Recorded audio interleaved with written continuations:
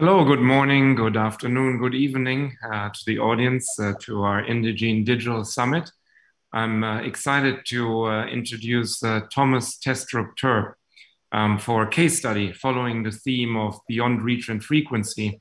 Um, he's going to give us a real life case study about the journey from share of voice to share of engagement.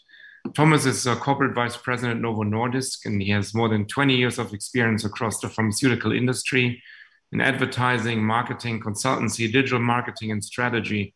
Has a proven track record of successful leadership positions multi level reporting, multi million dollar budget responsibility. Um, Thomas is recognized for his collaboration, negotiation skills, and ability to lead teams toward a common vision and objective. And he earned his Master of Science in Strategy and Organization Management from Aarhus Business College and is an MBA from Copenhagen Business School. And I personally had the pleasure over the last several years to talk with Thomas strategically and value his insights. So thank you, Thomas, so much for joining us today and sharing your experience. Thank you, and thanks for letting me join. So um, let's share the slides and. Uh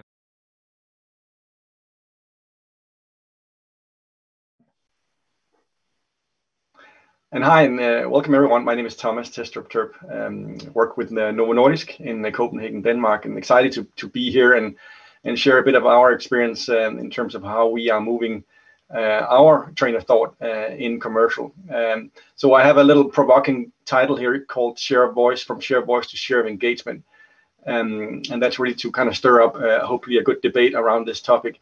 Uh, but I would, would like to say that you know Novo Nordisk is probably not that much different than many other pharma companies. Uh, share voice has and still is very very important um, to a, a, commercial model uh, such as ours. And uh, I'm no by no means saying we should forget all about that and all we've learned and only focus on the new. But what I am saying is that it's time to look at uh, how we engage with our customers and also how we we we measure that.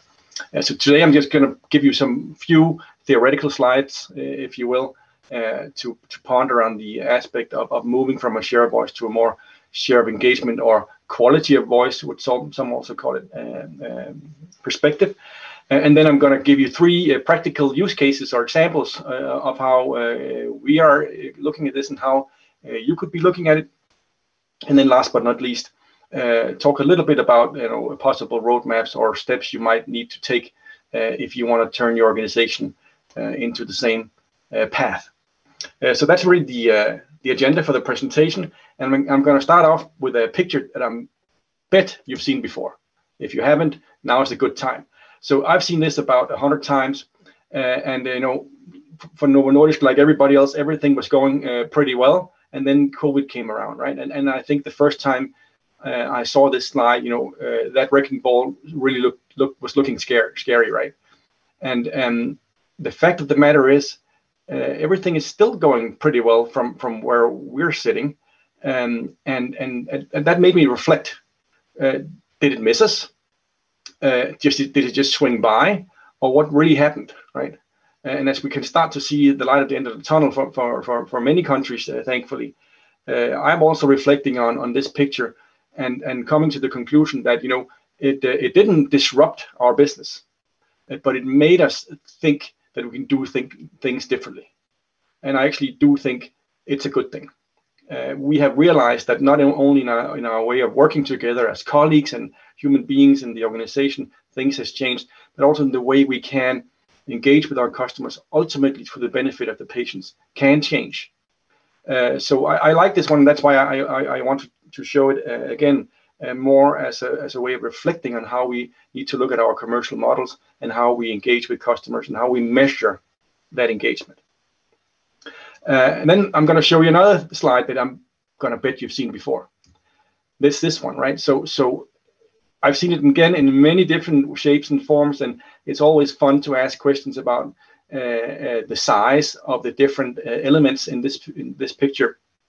I think everyone can agree that there was a pre-COVID era where where the traditional channels, uh, the field channel, uh, was very dominant for for good reason. And then we had a COVID time where everybody was scrambling, right, and and really turning to a digital-only approach out of need. Uh, so was uh, Novo Nordisk.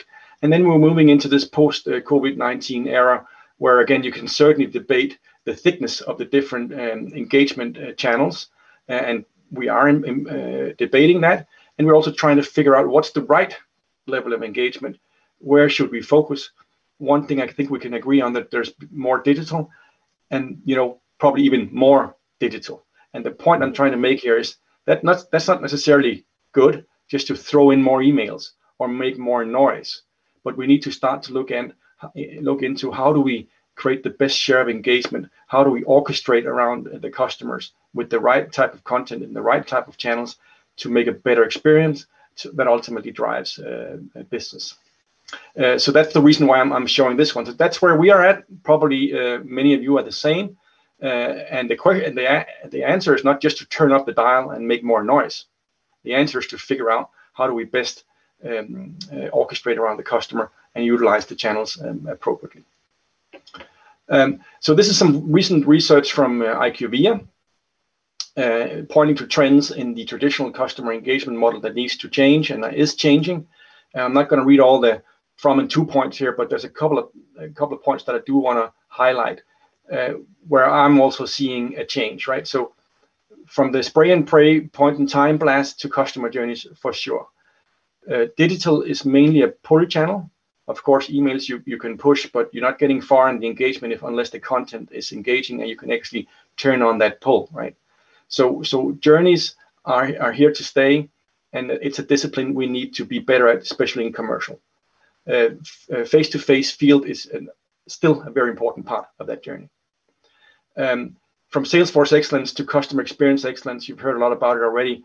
Uh, I was also once in, in Salesforce uh, operations and optimization. That discipline needs to evolve uh, and, and be much more holistic and encompass multiple touch points. And then the last one, um, you, we, we can't live with digital islands anymore uh, or just islands or silos. We need to have our uh, data house in order. We need to have foundational platforms that allow us to have an integrated and omni-channel approach to um, to customer engagement. That that you need to get fixed.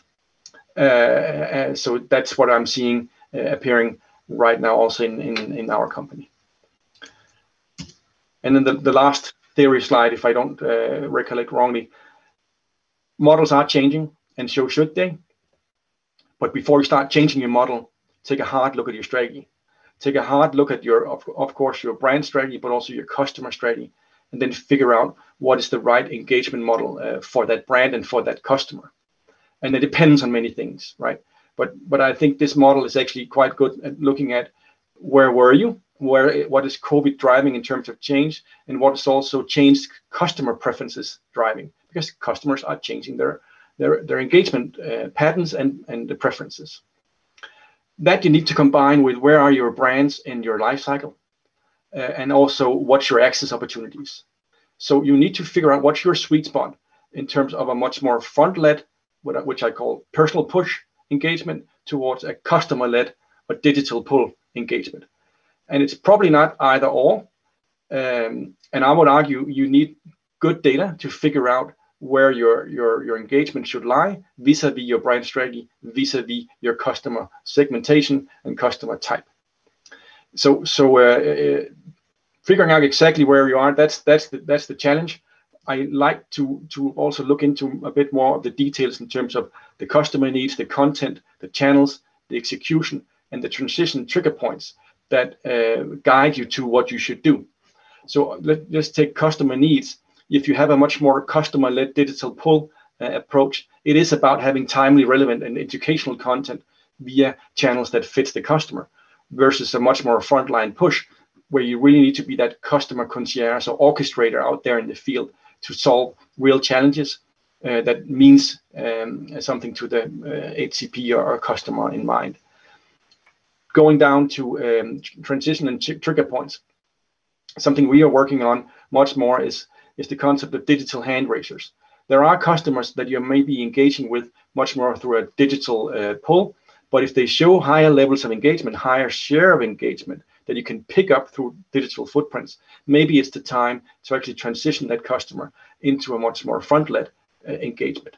Um, So again, measuring the engagement can can tell you uh, if a customer is increasing their engagement with you because you have something of relevance, or they're disengaging, opting out, not uh, uh, responding to your content uh, or to your channel engagements, and then having to move the customer further down um, uh, in levels. And ultimately, where you can, uh, in the US, measure TRX, not so much possible rest of the world. but I think on, not think I know, you absolutely also in rest of the world need to have a much better sense of where your individual customers are. So brick level information, good. You need to try to get to a, a deep a, a level further down, uh, being able to measure individual engagement, engagements with uh, non-US customers um, uh, as well. So, not enough theory. Let's um, look at some practical examples. Uh, how are we trying to evolve our customer engagement model, um, and maybe how can you do the same? Uh, based on three practical use cases. Uh, the whole concept of reach, what, what is that? What should you be looking for? Contribution, what channels are contributing? What kind of content, uh, content are contributing to your engagement? And ultimately, what share of engagement do you have with the individual customers and what um, action should you derive from, uh, from that? First use case, and it starts with a business question. And I think that's really, really important. It's about the questions uh, and and you as a business leader you need to ask the right questions and then figure out how to answer them and before you start asking too many questions you need to work on that as i said before data house in order you need to have the basics uh, right otherwise you're not getting far here uh, worst uh, worst case you're basically arguing with each other on which data is right if you don't have your business rules in, in, in order right so the first business question here is am i even reaching my customers and how am, and how am i reaching them through physical, digital, or blended channels. Uh, and, and these are, are, are, real numbers on the on the screen here. Uh, hopefully you can't see them; uh, they're blended out.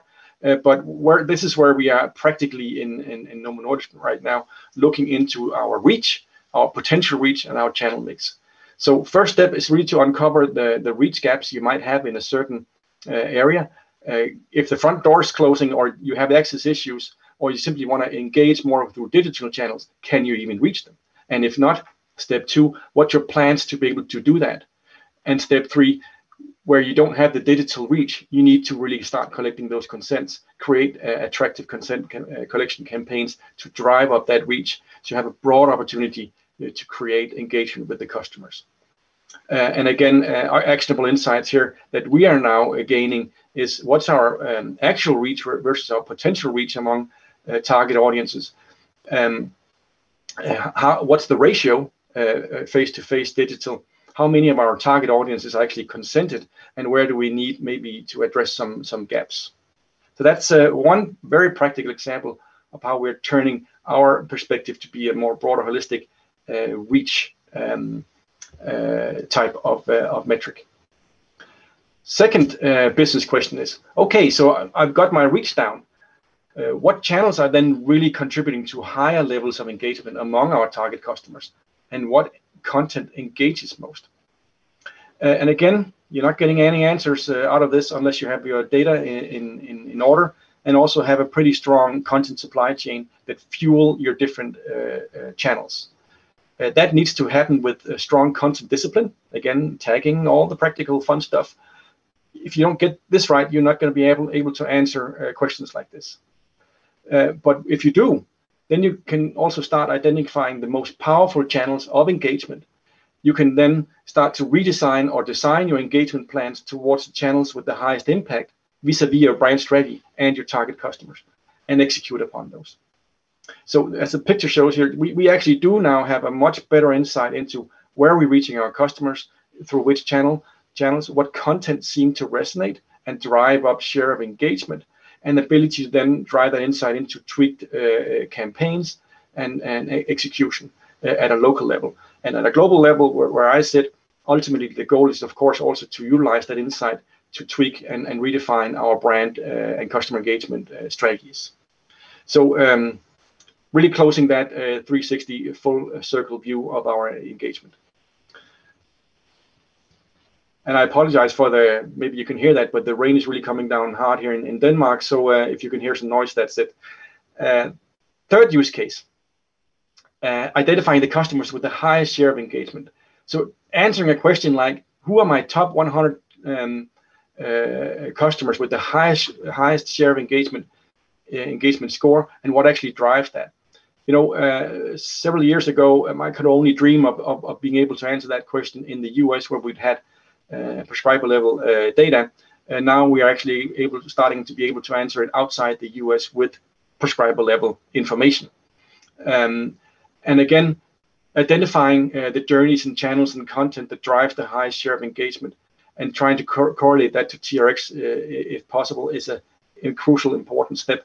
And then uh, designing your in, uh, customer journeys and leveraging the channels uh, that deliver on then that share engagement and execution.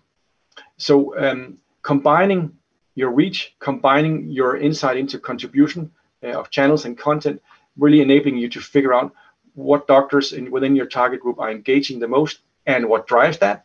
But also, of course, looking at doctors that you would perceive valuable uh, through a value contribution uh, assessment and figuring out how to reach them, how to reach them in channels that are contributing more, and looking at how to drive up share of engagement with that particular uh, customer uh, type. When you start to get insights like this, it is really pivotal to how you can design your campaigns uh, fuel your strategy execution out there in the in the real world, and also uh, shift your resources to the channel that matters uh, the most.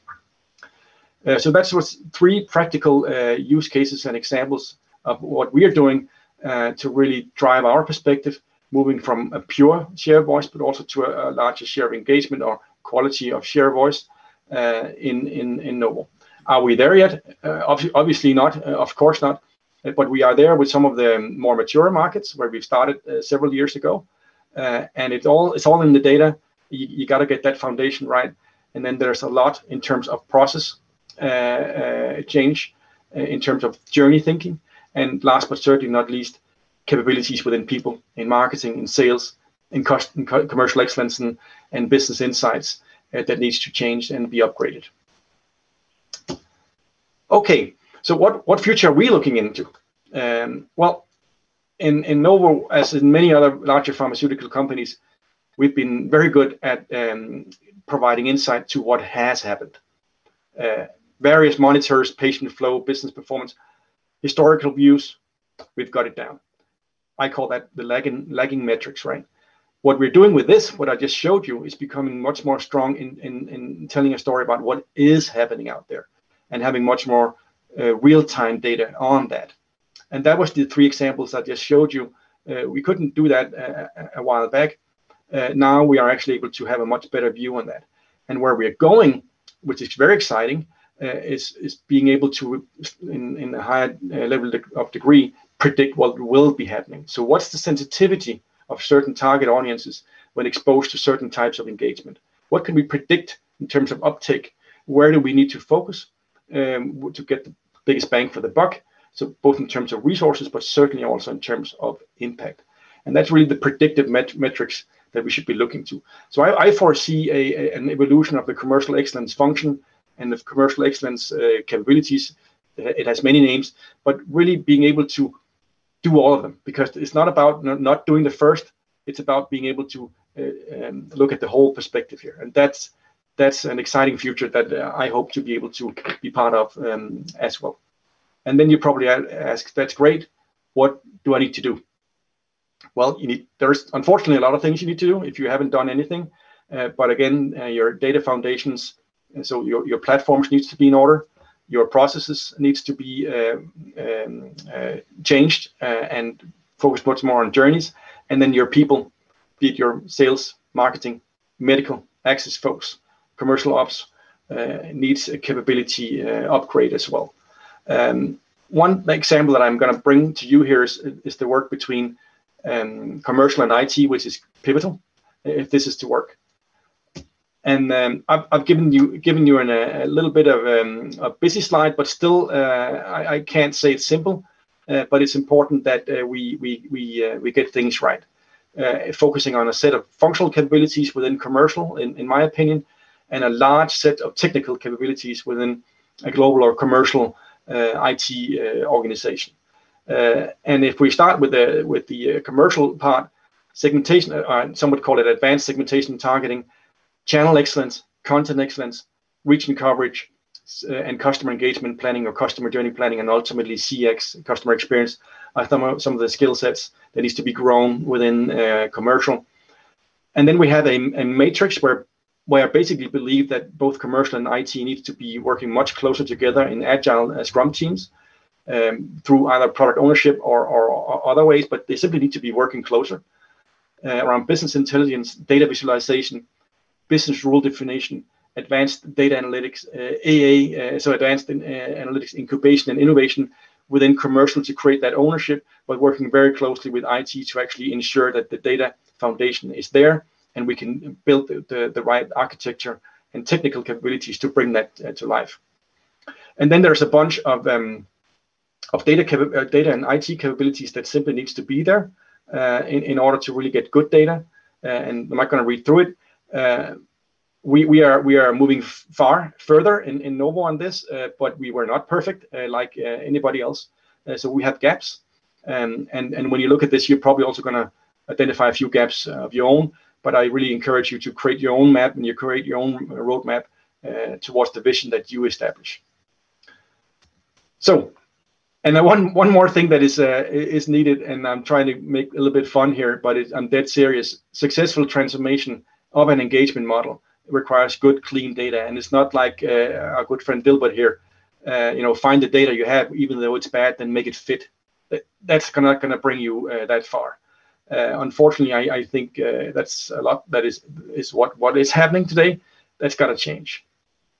And then when you have a good data foundation and a good data structure, you need to be really really careful that we uh, don't end, uh, end up with, death death by dashboards. That we are really really good at creating a lot of dashboards, and nobody's getting it, and nobody's able to translate that into action. So that's actually some of the things that I'm that uh, not not concerning, but I'm very attentive to right now uh, we have a lot of good people creating uh, great stuff, but it needs to transcend into the uh, parts of the organization actually executing it.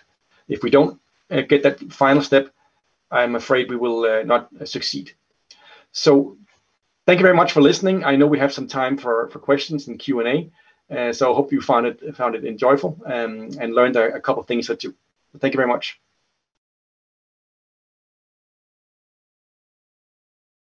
Great, Thomas, thank you so much. It's uh, really uh, fantastic to see not just the theory, but actually the practice and how the leading organizations are changing the way that they're evolving toward the share of engagement. Um, one question, um, let's see how much time we have. But when you measure share of engagement across multiple channels, do you value them all the same? So, as a rep visit, the same as an email send or open or click, or do you like uh, give different values and, and, and how do you go about that? Great question. We give different values. It's a short answer. And yes, you know, uh, uh, rep engagement is still very high, very high on the uh, on the scoring. And again, uh, I've been out there. I've seen uh, it not work, and I've seen it work. And when you have that great rep in front of the right doctor who has the time, it it does magic. Um, is it cheap? No, uh, so uh, we need to also figure out uh, how can we maybe complement that, enhance that, and really make that uh, great rep um, even shine more, right? That that's what we need to do. So uh, different to answer your questions is not valued the same, but the way we are evaluating evaluating it right now, I think we need to constantly look at that. And again, back to the doctor profiling, because you know some actually don't prefer that, or maybe you can't even get in, right? So we're, we're not there at, at that level, but uh, now we're making it possible. Great. Do you think there's a difference on your company portfolio, whether you have mature drugs, specialized, biosimilars, or do you think that's a model that applies to any type of portfolio? No, that's what I was trying to communicate with the slide five. I think you know, really figuring out what where's where's what's your strategy, right? What what what what field are you playing in, and how do you how do you win that? And what's your brand um, uh, life cycle stage? Clearly, huge differences. Uh, of course, your competition, many, many factors. And, and again, I would like to make it simple, but it's not that simple. But you need to look at that before you start making any engagement plans and making any choices. Um, thank you. Um, I think we're coming to the end of the session. Um, and uh, I know we could talk a lot more about this, Thomas. Again, I encourage everybody to network, uh, using the platform. I may be asking some one-on-one question that we couldn't answer here. And uh, this is a topic that we're going to dive uh, much deeper, not just in this IDS, but uh, all along in the strategic conversation we have at Indegene with our clients and uh, with clients like Thomas. Thank you so much, Thomas, and um, I uh, look forward to seeing you again soon, hopefully in person. Likewise, and thank you. Bye bye. Thank you.